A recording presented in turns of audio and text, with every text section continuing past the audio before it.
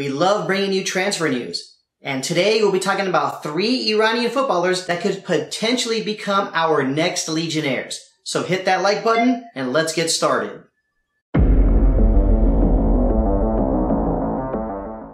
First, let's start off with winger Mohammad Mohebi of Sepahan. Now he is 21 years old, he has scored 5 goals on the season, and he has already been capped for Team Melli in important World Cup qualification matches. The rumor has it that AEK Athens of the Greek Super League is interested in Mohebi. And last season, AEK Athens finished in third place, and that's good enough for a spot in the third round of qualifying for UEFA Europa League. According to Transfermarkt, Mohebi's current market value is $220,000. He has plenty of upside, good pace, and an excellent work ethic. The bottom line is that Mohammad Mohebi puts his head down and works hard. And from my point of view, this is a great opportunity for Mohammad Mohebi. And I think this is an opportunity that he really, really has to take advantage of, considering the depth that Team Melli has on the wings and with plenty of attackers. Our next player, striker Shahriar Moghanlou of PEYKAN. He is 25 years old. He has scored 12 goals so far this season. I mean, he is having an amazing season with PEYKAN. And yes, he has never been capped before for Team but the season he's having has obviously caught the eyes of other football clubs, and one of those teams is Santa Clara of the Portuguese Primeira Liga.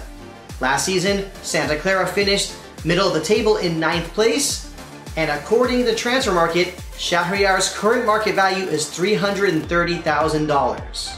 Now, nobody was expecting Shahriar Moghanlou to have such an awesome season. But the fact of the matter is that he is a good finisher, he is dangerous in the air, and he is good with set pieces. Shahriar Moghanlou will have a tough time getting called up to Team Melli, but this is an opportunity he has to take, and this is really amazing for Shahriar considering that not too long ago he was playing on a loan spell with Malavan in the second level of Iranian football. Last but not least, we have goalkeeper Payam Niazmand of Sepahan. Now he is 25 years old, and let us not forget that he holds the current record for longest minutes without conceding a goal. He broke Ali Reza Beiranvand's record, and that record currently stands at 940 minutes. Payam Niazmand has been capped before for Iran at the U23 level. He was also Iran's third choice keeper at the 2019 Asian Cup. And there have been reports in recent months suggesting that Portuguese club Vitória do Guimarães has been interested in Payam Niazmand. Now, Payam Niazmand is arguably the best goalkeeper in the Iranian Pro League. He is also three years younger than Ali Reza Beiranvand. But because Ali Reza Beiranvand is officially with Antwerp in the top flight of football in Belgium, I think this will definitely increase the chances of Payam Niazmand transferring to a club in Europe. Hope you enjoyed this edition of Team Melli Talk. But who do you think are some other Iranian footballers that have a shot at playing in Europe? Leave a comment down below. Thanks for watching. Don't forget to like, comment, share, subscribe. Hit that notification button. We'll see you on the next edition of Team Melli Talk.